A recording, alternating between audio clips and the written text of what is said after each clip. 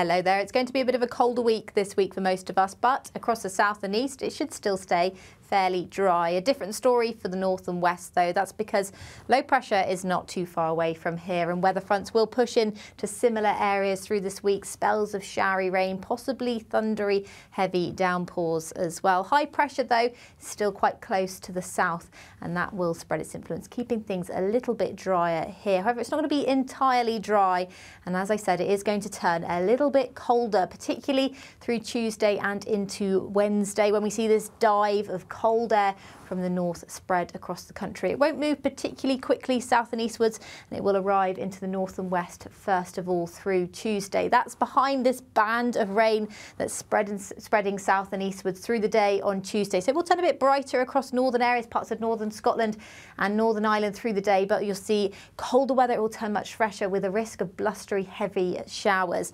Now as this band of rain pushes into central areas of England, parts of northern England, parts of Wales as well, we could see some heavy downpours on that as well through Tuesday afternoon. In the south and east, it will be a brighter start, but the cloud and rain will likely arrive by the end of the day. But because there is a bit more in the way of drier and brighter weather, we're still in that milder air across the south and east on Tuesday. It's still going to be a fairly mild day, highs of around 22 degrees here, but quite a difference up to the north and west, temperatures struggling into the mid-teens across the northwest. And I think with the breeze, it's certainly going to feel very different. Now that cold air continues to dive south and eastwards through the night on Tuesday night into Wednesday. And this occluded front brings a focus of some quite heavy showers through Wednesday morning. And those showers could fall as snow over the high ground of Scotland, which is not that typical for early summer, but isn't completely unusual. Snow's only really expected over above 600 metres in Scotland. Elsewhere, it should be a fairly bright day across much of Wales and southern and central England with plenty of bright sunshine, but it is going to be a fresher day on Wednesday compared to Tuesday. And across parts of Northern Ireland, Northern England, elsewhere in Scotland, plenty of cloud around and some fairly frequent, possibly heavy and thundery showers.